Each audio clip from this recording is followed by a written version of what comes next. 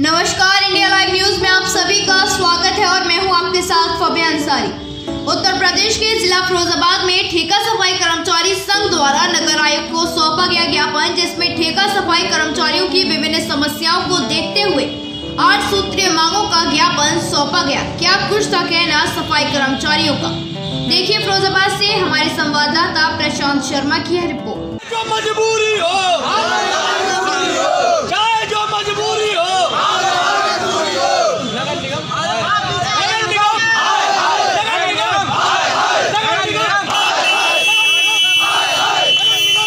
मैं आपका कुमार वाल्मीकि जिलाध्यक्ष उत्तर प्रदेश ठेका सफ़ाई कर्मचारी संघ आज जो आपने धन्यवाद की है क्यों की है देखिए कोई भी जब एक्शन लिया जाता है कोई भी हड़ताल वगैरह की जाती है कर्मचारी अपनी मर्ज़ी से नहीं करते। और ये भी हम लोगों ने अपनी मर्ज़ी से नहीं किया। हम लोगों को इतना आहत कर दिया गया है कि इसलिए मजबूर हम लोग यहाँ बैठे हैं।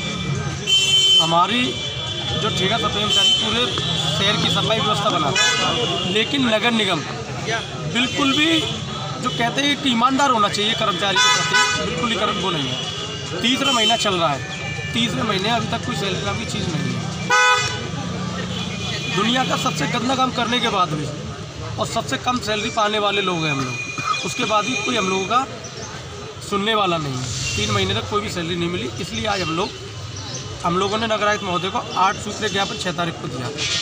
उसको लेकर जब हम लोग भी बात नहीं मानी अड़तालीस घंटे कोई वार्ता नहीं की गई हमसे तो हमने आज मजबूरी में काम हड़ताल का आपने क्या मांगे रखी गई हैं आज? हमारी आठ मांगे थी जिसमें ये मांगे हैं हमारी।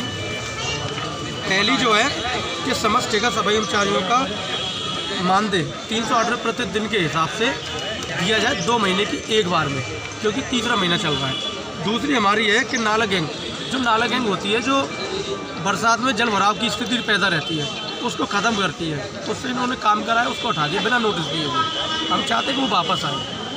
तीसरी है, समस्त कर्मचारी को ई पी एफ़ खाता संख्या में धनराशि पहुँचाई जाए।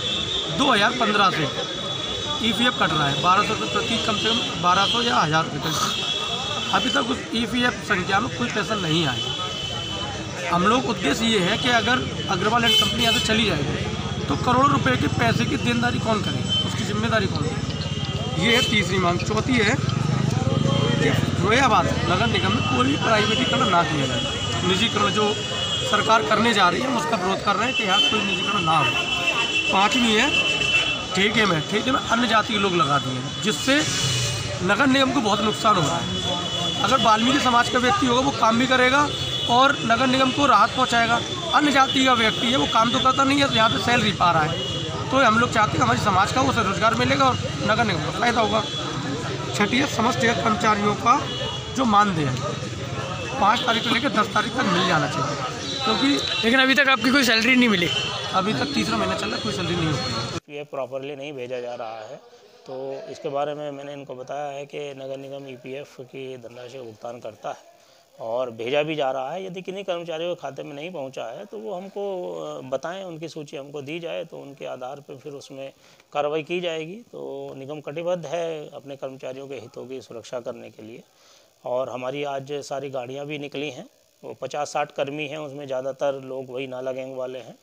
और जो इनके लीडर हैं, उनके बारे में मुझे बताया गया कि वो यहाँ के ठेका कर्मी हैं भी नहीं। तो इस तरीके से कुछ लोग जान पूछ के शहर की सफ़ाई व्यवस्था है, उसको प्रभावित करने का प्रयास कर रहे हैं।